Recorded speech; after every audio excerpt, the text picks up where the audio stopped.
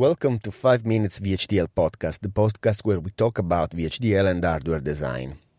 In this, uh, in this episode, I want to answer um, to my friend, uh, a guy that um, wrote me an email and he asked me, I need a clock. this made me uh, this made me laugh in some sense because I need a clock. It's a it's a very strange question for me. Anyway, uh, the the point is is designing a PVM PWM and uh, is designing the PWM on FPGA uh, on a Zynq FPGA from Xilinx and uh, the FPGA is um, is assembled on a on a board. So his simulation is uh, is okay, is perfect, and in his simulation is uh, using a emulated clock in the test bench, and all the things are okay. Now he need to uh, implement uh, the the the design into the FPGA into the board. So he needs a clock. And this this question is struggling him how because he doesn't know how to generate a clock in uh, in the FPGA. Now, when we uh, design something, we used to simulate the design and we used to put our design into a test bench and in the test bench, we provide all the signal uh, the design needs in order to um, generate uh, and simulate the, the design behavior. In this case, we use to uh, provide a clock and reset in the test bench.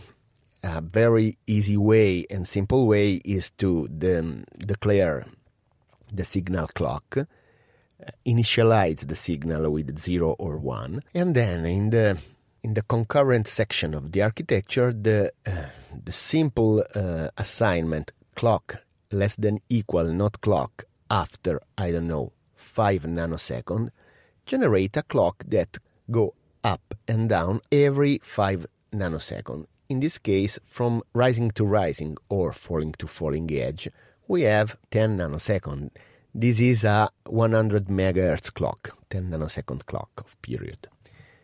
And this is uh, very simple in the in the test bench. But how we can generate a clock in a board? This is a, the problem that struggle our friend. the point is when we use an FPGA or an ASIC in a board, we need to provide the clock outside from from the outside of the FPGA in every board we can buy from a vendor, in the board is provided one or more oscill- oscillator that give the clock to the to the FPGA. We need to connect the clock port of our design to the clock pin that in the board is connected to the local oscillator, to the board oscillator. Uh, generally, when we we buy uh, a board, there are more than one oscillator on the board. It depends on the complexity of the board, but for sure, when you buy a board, at least one oscillator is present on the board. So mm, when you need a clock, you can be sure that you will be uh, able to connect your clock, your design clock, to the pin connected to the oscillator. Our friends wrote to me that he tried to generate a clock using the clock wizard uh, of the um, uh, of Vivado. Well, the clock wizard can instantiate uh, the PLL inside the FPGA, but a PLL needs an external clock because a PLL generate uh, an output clock from uh, a reference clock by dividing or multiplying the clock. So, for for instance, if you have a 10 megahertz clock and you need inside your design a 100 megahertz clock, you can use the external 10 megahertz reference clock feed the PLL and generate the clock multiplied by 10, generating 100 megahertz clock. But inside the FPGA, you can't find a clock as it is.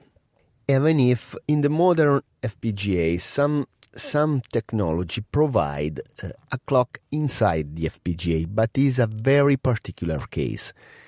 This is a case where uh, the the clock is uh, provided inside an FPGA that contains um, not so accurate uh, oscillator.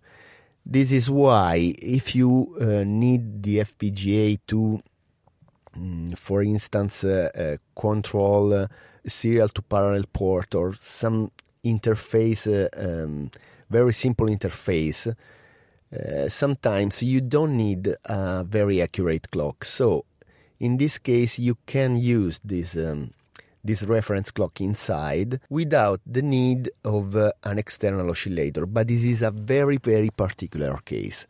In the 99.9% of the of the cases, you have your FPGA into a board, and in the board uh, are provided one or more external uh, oscillator that give you the possibility to uh, use the clock. Another thing is the clock on the board is provided to the FPGA in the in the dedicated pin. This because every FPGA uh, have a dedicated pin to the clock. This is why the clock is a very particular signal. We use this signal to run our design, and we have to be sure that no um, no bumping on the clock are present. Think about it.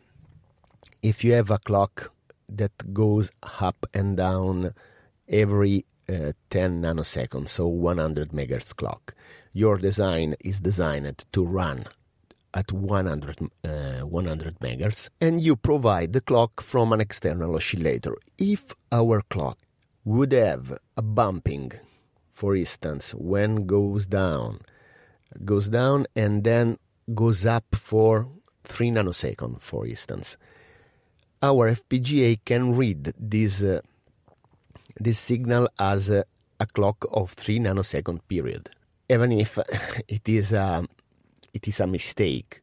In this case, our design for a, for a small time period should run with a period of 3 nanoseconds, that is uh, about, uh, is about 300 megahertz. In this case, we should run at 3 nanoseconds, that is three times faster than 100 megahertz. In this case, the, um, the design can have problem because if our design can run to 100, but in our static analysis, we know that we can run up to, I don't know, 120 megahertz. If we provide a faster clock, the result of our design is unknown. So we can generate something if we have for instance a, a finite state machine that have the uh, the control logic that goes to a unknown status we can lock our design in unknown status. But this could happen if we have a counter or some uh, complicated logic. So we we have to avoid this. So I hope I answered to our friend and talk soon. Ciao.